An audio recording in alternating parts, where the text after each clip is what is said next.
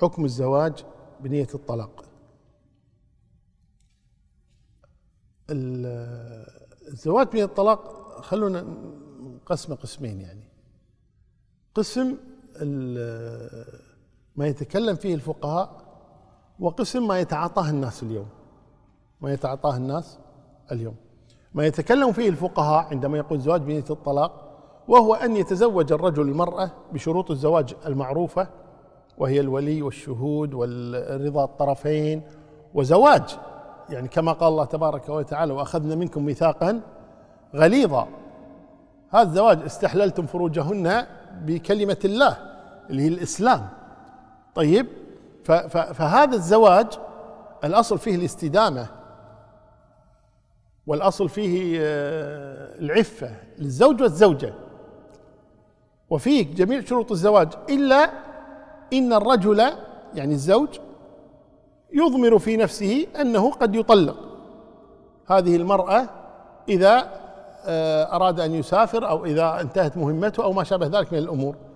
فهو ينوي هذا في قلبه ولا يظهره لها.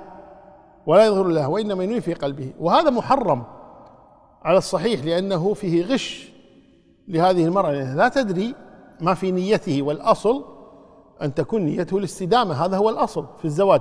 نعم كل إنسان وارد أنه يطلق لكن فرق عظيم بين إنسان ينوي الاستدامة وقد يطلق وبين واحد ينوي الطلاق وقد يستديم.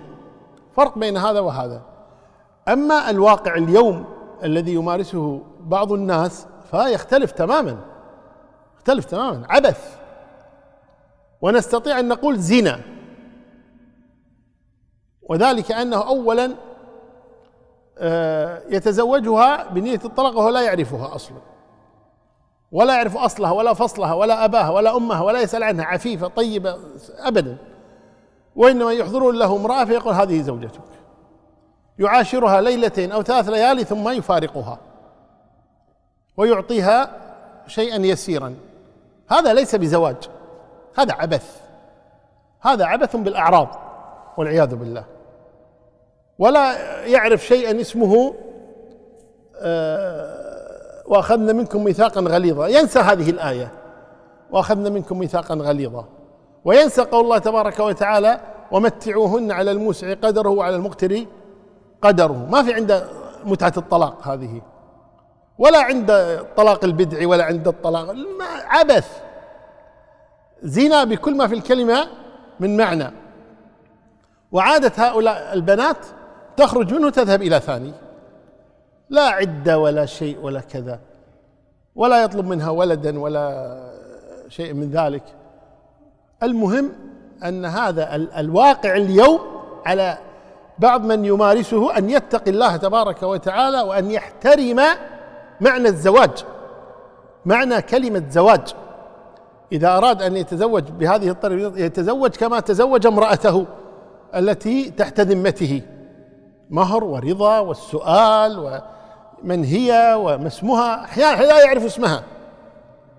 فقط يقضي وطره منها ثم يفارقها.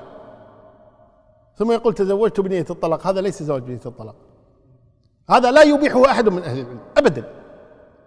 لا يبيح هذا العبث أحد من أهل العلم الذين يستدلون بأقوالهم يقولون هناك من أهل العلم من يقول بجواز الزواج بنية الطلاق. ليس هذا الذي يفعله كثير من الناس اليوم أبدا. فنحذر من هذا الأمر علينا نتقي الله تبارك وتعالى. ومن يحتج بأنه آه، شرعه بعض أهل أو آه، أجازه بعض أهل العلم لا يجيزون هذا العبث. هذا زنا مغطى بغطاء حلال وهو ليس بحلال. فعلينا نتقي الله جل وعلا.